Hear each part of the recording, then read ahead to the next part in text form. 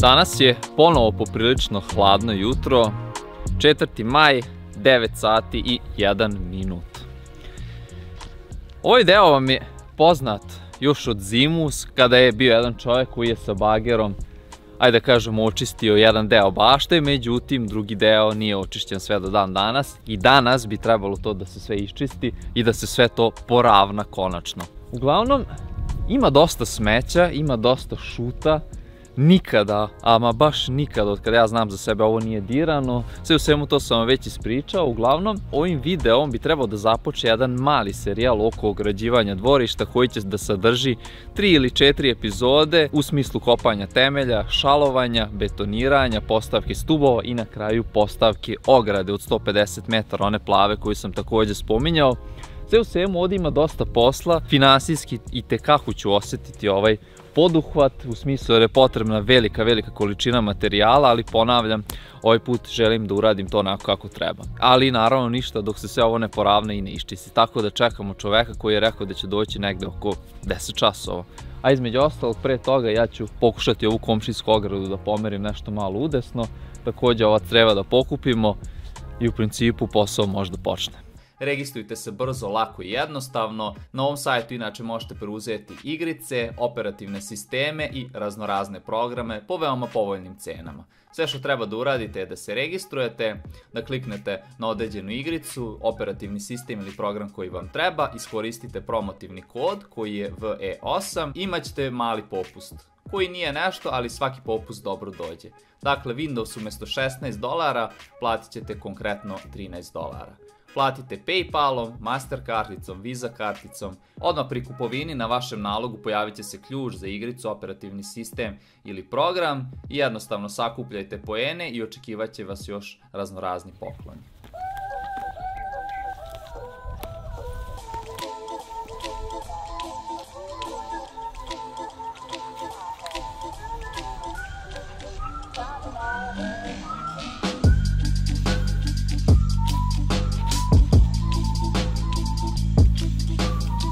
Kao što ste mogli videti sa snimka iz vazduha, ja sam ovo poprskao pre dve nedelje, takođe sam i upalio isto ovu travu, kako bi što manje posla bilo oko toga, ali sve u svemu korenje ima i tekako dosta. Kada je onaj gornji deo rađen, u smislu renoviranja, ta ta žuta zemlja ovde donešena, međutim, ispod te žute zemlje se nalazi ona crna kvalitetna zemlja, tako da će taj sloj da se skine dole, da se odgura dole, pošto onamo je dole nizbrdica, a ovamo bi trebalo onda da ostane kvalitetna zemlja. I naravno sve ovo po mogućnosti da se povadi napolje.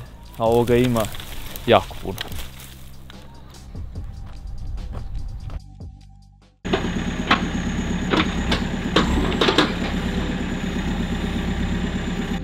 Situacija je relativno slična kao i zimus, s tim da je sada dosta suvlja zemlja, i smatram da će biti manje posla. Možda i bolje što je ovako odrađeno. Neki deo zemlje se dodatno slegao, tako da, ono, ko zna zašto je to dobro. Uvek to volim da kažem. Sve u svemu, predložio sam mu da sa ovom kašikom iskopa temelj za ogradu. Jaz da je ona široka 50 cm, a temelj treba da bude nekih 13-14 cm, ali bože moj, išalovaće se, kako ono kažu.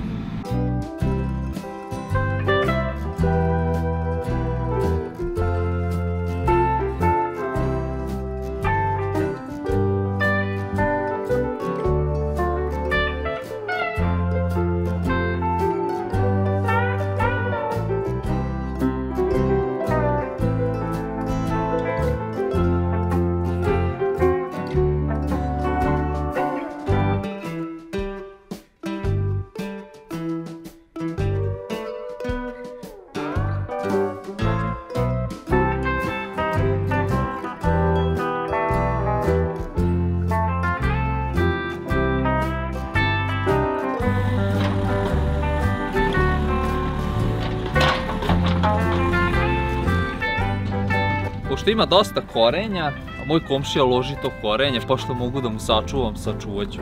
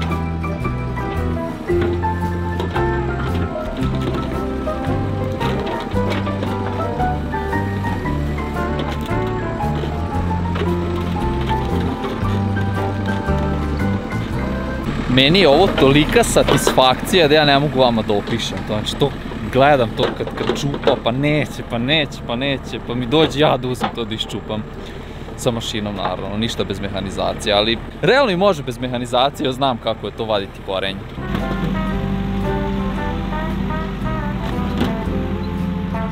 Odlično napreduje, sad se već vidi da je plac nešto malo ravniji. I sada idemo ponovo malo na kadrove iz vazduha.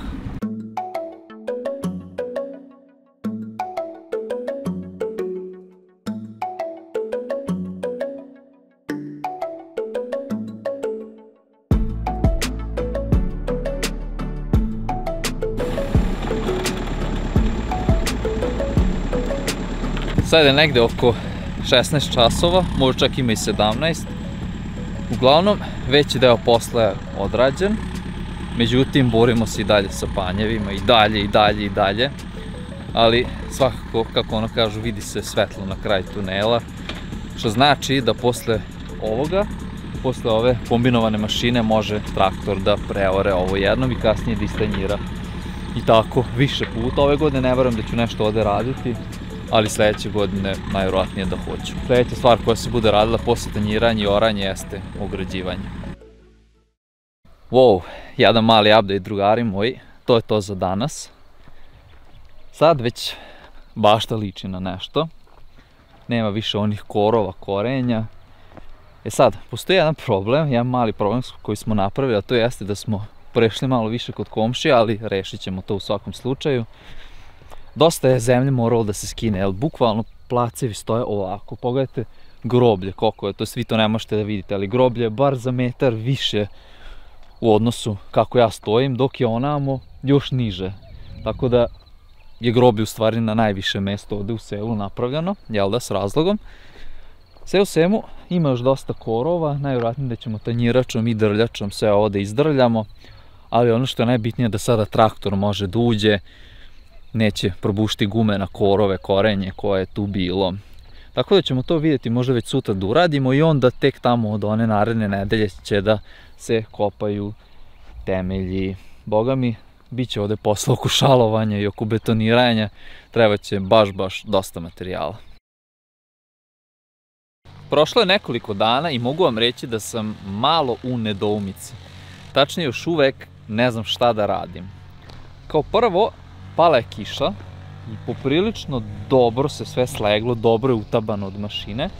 Što znači, ako bi ja ovo sve preorao, istanjiro i uzorao, da to ne bi bilo prohodno. Sad, šta to znači prohodno? Zašto ovo mora da bude prohodno? Iz razloga jer ovde, kao što sam već to spomenuo, treba da se radi ograda. A kad smo već kod ograde, ukoliko budem naručivao šljunak, cement, to negde mora da se lageruje. Najvjerovatnije ovde negde na sredini. I onda opet, ukoliko budem uzorao, istanjirao, mašina neće moći da uđe, neće biti prohodno i tako dalje i tako dalje. Ukoliko ostavimo ovako, kada se bude šljunak istovario, lakše će se kasnije pokupiti i kada se bude preoralo, bit će lakše da se on izgubi, to jest da nestane. A kad sam već kod tog šljunka i betoniranja, opet računam i kalkulišem da li da naručim gotov beton, pa da se sve lepo izlije, ili da ga ja sam mešalicom mešam otprilike količnici kako sam računao treba mi negde oko 12,5 kubika betona. Tako da će najvjerojatnije za sad ostati ovako. Ovi korovi što vire iz zemlje, to ćemo trimerom ili sa sekirom da povadimo. Naravno ja ću ovo prskati semena na vreme da tu ne zaraste trava jer kosačicom ovde nemogući svakako. Tako da u principu to je bilo to što se tiče ovog videa. Nastavljamo naravno dalje sa poslovima, najvjerovatnije kao što sam rekao da će sledeće biti kopanje temelja i ograđivanje. I ponavljam još jednom, iskreno jedva čekam da mi se ogradi dvorište, da ništa više ne ulazi u dvorište u smislu životinja.